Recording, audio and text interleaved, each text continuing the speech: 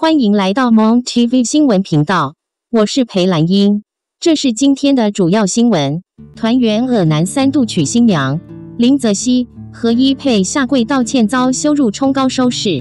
三立八点台剧《一家团圆》五日播出尔南林泽熙与恶女何一佩的婚礼，收视冲高到三点三四，观众都在等着看两人如何被收拾。好好的婚礼变成一场大闹剧。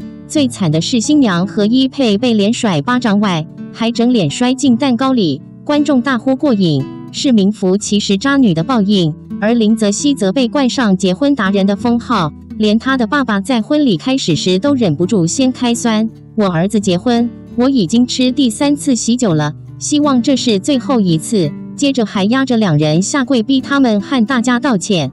巧的是，在剧中何一佩背叛了龙宇生，被甩巴掌。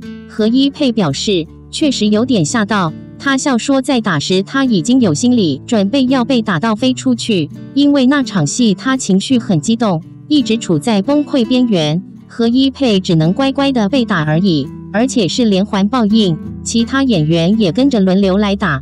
由于何一佩在剧中背叛龙宇生，与林泽熙乱搞男女关系，以至于怀孕后肚子里的小孩到底是谁的，成为了观众讨论话题。甚至有观众推理说，既然是双胞胎，两个发生关系的男人各一个。而看戏的观众很生气，观众骂他可以理解，但自己妈妈看戏都很气愤。他相信当天看到女儿婚礼戏被中人狠甩巴掌，应该会飙高血压，因为他妈妈很入戏。亲妹罗巧伦之前在有台也演坏人，两个女儿都在使坏，对妈妈来讲负担有点大。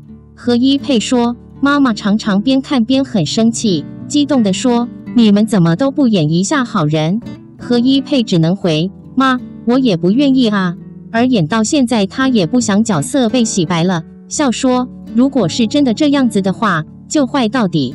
都撕破脸成这样，那么难听的话都说了，头都洗了，就一路坏到底没再怕。不然这时候洗白，前面的坏就白费了。”感谢您收看猫 TV 新闻频道。